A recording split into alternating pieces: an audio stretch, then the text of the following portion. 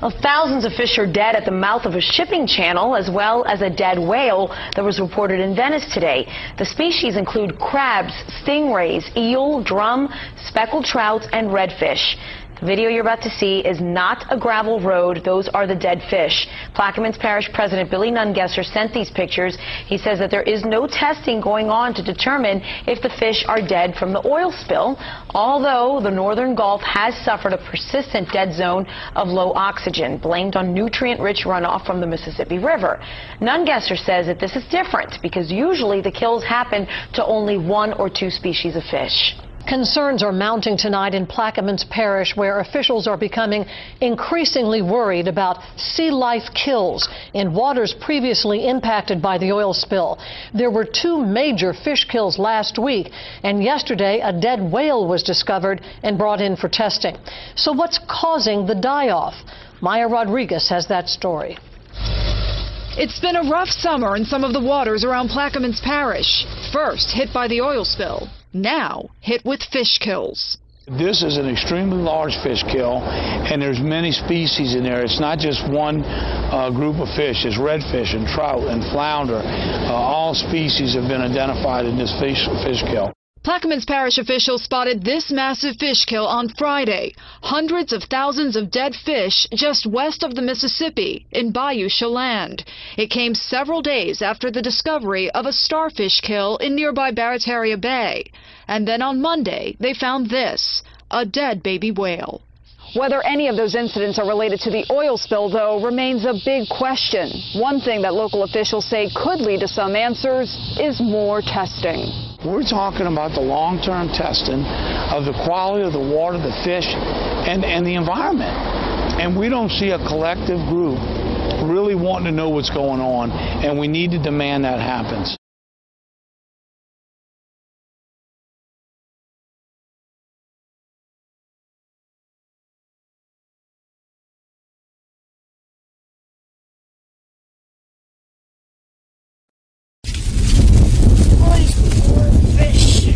Evan Borgeson and his sister Rebecca were among the first to see the mess. It was crazy. There was fish all over the place. Um, we're like, no swimming today, no playing in the sand. It's smelled wicked bad. It's just crazy. I kept the kids out of the water, didn't want them touching it, and uh, I wanted to make sure there was nothing, no danger to them. So uh, that was our immediate concern, and uh, we're just waiting to hear the word to find out if they can get back in the water.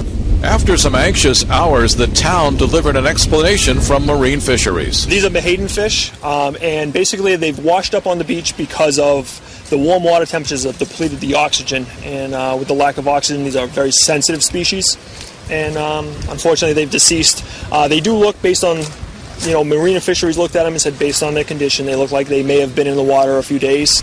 Menhaden are members of the herring family. They grow to about 12 to 15 inches and go by other names, including pogies. Longtime residents have never seen this here. This is quite sad um, for us because, uh, you know, it's uh, Fishermen's Beach Association, and there's 30 of us that actually own this beach. And uh, anything we'll like have to get this in down here and almost 40 years. Hundreds of thousands of dead fish washing up on shore along the Delaware Bay from middle to lower townships. And this is no joke. This could be the most enormous heat related death ever at the Jersey Shore. Wednesday night, and the big story on Action News tonight is a massive fish kill in Cape May County. Action News reporter Dan Cuellar is live near the scene. Dan, you've got the full story. Yes, Jim, officials tonight remain mystified over this major washup of dead fish along the Delaware Bay here in Cape May County. While the investigation is ongoing, already there is at least one theory by scientists on what may have happened to those fish. It was a strange sight. Hundreds of thousands of dead fish along the shore of the Delaware Bay in Cape May County. No, I've never seen anything like this. I have to say, hundreds when I first saw them, and then it became thousands. There were masses, and they were floating. The fish, juvenile menhaden, also known as peanut bunker, were washed up on miles of shoreline from the Villa section of Lower Township to Pierce's Point in Middle Township. Just rows and rows, a big row of fish all the way up as far as you can walk. Yesterday they were in the water, they were jumping up, you could see them, and there was porpoise out here. I guess they were feeding on them. Residents say the fish began washing up on shore early this morning, creating a foul smell as they baked in the hot sun. We went down to that boat and then all the way down to that jetty, and it was the same thing, the whole row all up and down, dead fish. As far as you can see. As far as I can see, yeah. By evening, the high tide had washed away most of the dead fish, leaving behind a thin line of them along the shoreline. And I've lived here for six years. It's the first time I've ever seen anything like this.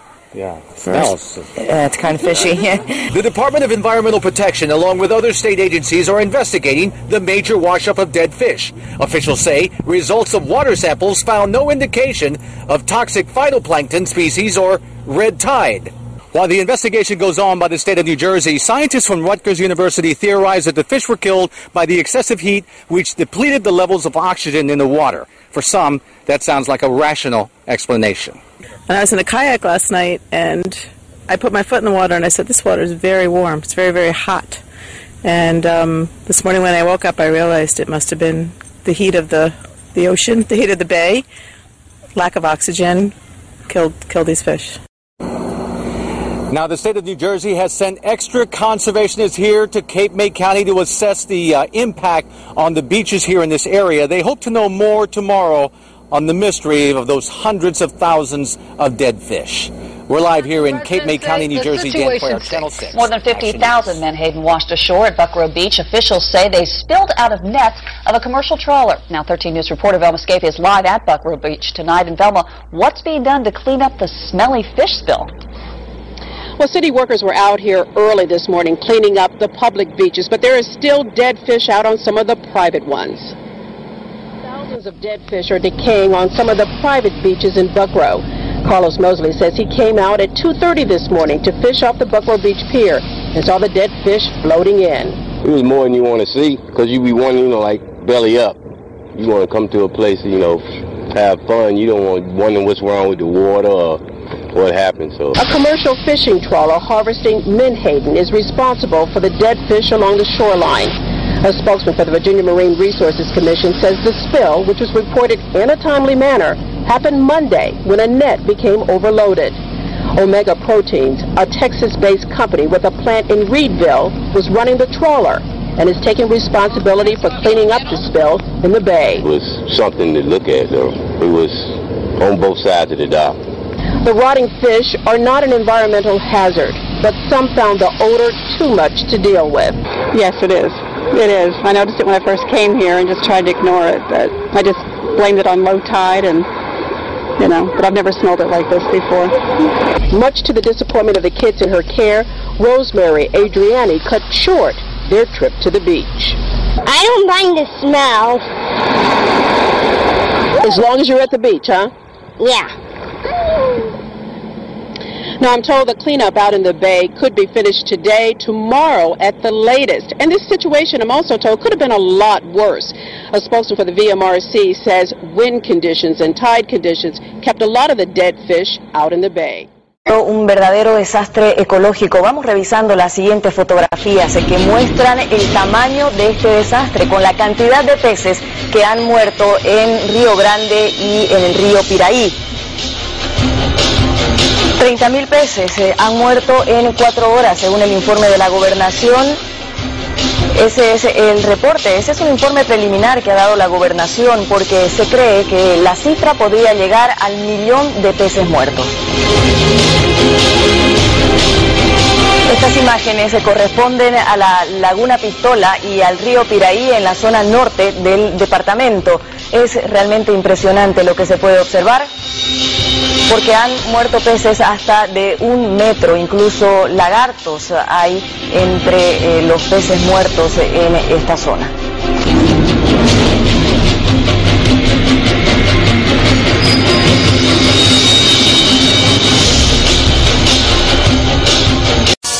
台北市市林的双溪有溪水清澈，沿途风光很漂亮，一直都是许多。单车族的最爱。不过呢，居民发现说，哎，上个礼拜六双溪的水面上怎么会突然浮起了一层不明的黑色油污呢？结果造成了大量的鱼群一系的暴毙了，臭的不得了。而是湖水利处赶紧派人来捞死鱼，没想到一捞就捞起了将近二十吨。士林的双溪一向是民众骑自行车以及散步的好地方。不过从上周六开始呢，在这个双溪上面产生了大量的浮游，造成大量的鱼群暴毙，而这也是今年第三起鱼群暴毙的事件了。上千条的死鱼一系暴毙，就这样全都浮在士林双溪的水面上。大哥，今天大概清几袋的啊？快一百袋了。这么多的死鱼不赶快清理不行，因为太阳一照，马上臭气熏天。啊，这我第一次看到，好臭。我洗个臭啊，规个臭啊呢。真干完呢？真正无咧，较无安尼，汉尼安尼呢。啊，到底安怎安怎因素？那安尼安尼，早起安尼用安尼死个臭瓜安尼。臭到受不了，市府水利处赶紧派人来清理，没想到死鱼的数量超惊人。保守估计大约二十吨左右，还在等那个环保局它水质化验，还有那个鱼的那个化验出来。嗯，对，所以目前还不是很清楚，不知道是污染还是说是因为那个水中含氧量不足的原因。鱼群之所以会一下子突然暴毙，居民检举，上周六看到水面上浮着一层黑色的油污。鱼群大量暴毙啊，绝对不是因为天气变化的关系，它不是有重要的污染源产生，要不然就是本身啊有毒鱼的情况啊，然后民众毒鱼，然后造成这个河川的污染。原本应该悠游生活在水中的鱼群，却大量暴毙，而且还不止一次。不找出真正的原因，只会让更多无辜的鱼儿白白送命。中新闻蔡木启、黄安晴特别报道。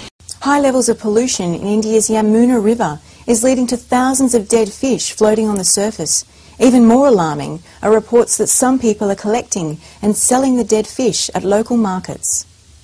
High levels of pollution in the Yamuna River are killing thousands of fish in India's Taj city Agra in northern Uttar Pradesh state. Liquid waste being released upstream from open drains and barrages has caused the quality of the river water to deteriorate drastically. The pollution is now so high that the water is not even suitable for bathing, let alone drinking. The death of hundreds of fish that are now floating on the surface of the river has increased concerns further. Even more alarming are reports that some people are collecting these fish and selling them in the market, which could lead to the spread of disease. The chemicals that have been mixing with the river water are the cause for the fish dying in the river in large numbers. It is unfortunate that the locals living on the banks of the river are taking these fish and selling them in the market. This could lead to spread of disease. Some of the dead fish are very large, which is further tempting the locals to take them to sell. We've been seeing since yesterday that numerous fish are dying. Some of them are really big, even weighing up to two and a half kilograms. According to a Central Pollution Control Board report, around 70% of the pollution in the Yamuna comes directly from humans.